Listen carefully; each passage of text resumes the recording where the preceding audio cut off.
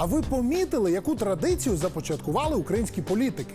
Спочатку вони б'ють себе в груди, що будуть піклуватись про український народ. Потім приходять до влади, заробляють на посадах гроші і тікають за кордон. Так, після влади Януковича до Росії втекли Сергій Арбузов та Сергій Курченко. Після президентства Порошенка в Ізраїль та Британію втекли Олександр Грановський та Валерія Гонтарева. І це лише кілька прикладів з десятків можновладців, яким просто соромно або страшно залишатися в Україні після своєї турботи про людей. Один з таких втікачів нардеп та бізнесмен Дмитро Святаш, який представляв в минулому парламенті фракцію відродження. А от тепер кажуть, що він отримав російське громадянство. Деталі в сюжеті. Втеча року. Це Дмитро Святаш, колишній народний депутат і український автобізнесмен. Він не мав втікати. Ви мав доводити. Якщо він не винний, ви мав доводити. Останні півроку в медійному полі жодної згадки, аж раптом повідомлення, ніби Дмитро Святаш із родиною перебрався до Росії і вже отримав російське громадянство.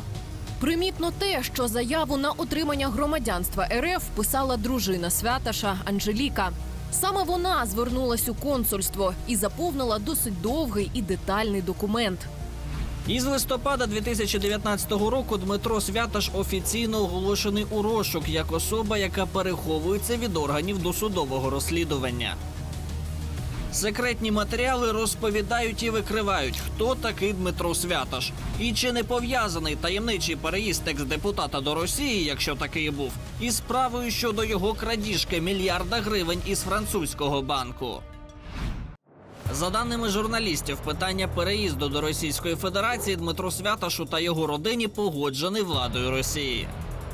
Ніби колишній депутат скористався програмою співгромадянин. Це такий собі проект, мета якого сприяння добровільного переселення до Росії тих, хто проживає за її межами.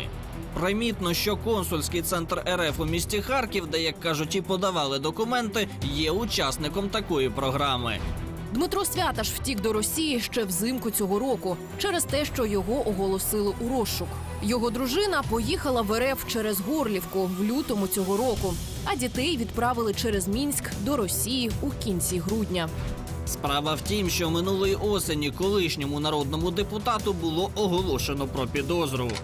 Ще раз я вам сказав, ми закрили цю тему. Якщо вас не хочете відповідати, я закрив цю тему. Дмитру Святашу приписують участь у заснуванні групи компаній АЙС спільно із ще одним екс-депутатом Василем Поляковим.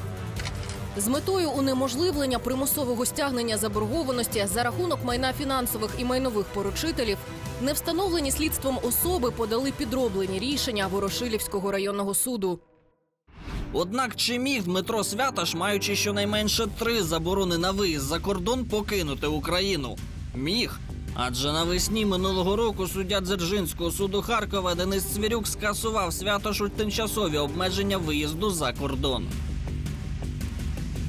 Скасувати тимчасове обмеження права виїзду за кордон боржника Святоша Дмитра Володимировича. Чому в суді пішли на такий крок? Є факт, як у справі іншого співзасновника групи АІС Василя Полякова напередодні засідання суддя отримувала прямі погрози. Якщо я не прийму певне рішення у вказаному клопотанні, а саме не задовольню вказане клопотання слідчого, то я пошкодую про це. Мене та мою родину чекають неприємності, а я буду мати у майбутньому великі проблеми. Варто відзначити, що ще не так давно на той час генеральний прокурор Руслан Рябошапка доповідав про зрушення у справі боргів Святаша. Тоді він заявив про отриманий дозвіл на арешт екс-депутата.